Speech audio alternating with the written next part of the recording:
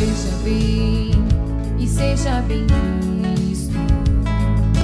Veja como é bom enxergar melhor. Os olhos são a janela da alma. Cuidar deles vai muito além do que você enxerga. Óculos das melhores marcas, com lentes de grau e solar, na ótica e relojoaria Vejo Luz, Avenida Assis Brasil, 382.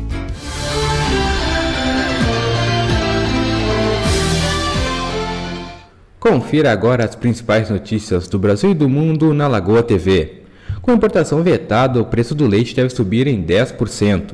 A suspensão das licenças automáticas de importação de lácteos do Uruguai deve provocar mudanças rápidas para o consumidor e lentas para o produtor de leite no Rio Grande do Sul.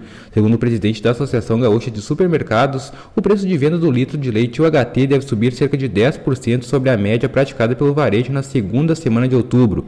Veja mais em correiodopovo.com. O Supremo Tribunal Federal decide que parlamentar não pode ser afastado sem aval do Congresso.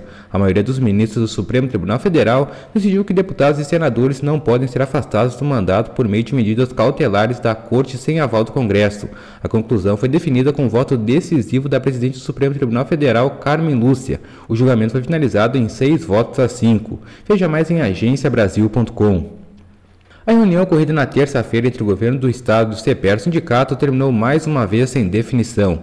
Apesar de a Polícia Civil já ter anunciado que encerrará a paralisação no dia 17 de outubro, quando a folha de pagamento deve ser quitada, os professores e funcionários de escolas estaduais gaúchas não pretendem acabar com a greve. Veja mais em acusticafm.com. Essas e outras notícias você confere no nosso site www.lagoatv.com.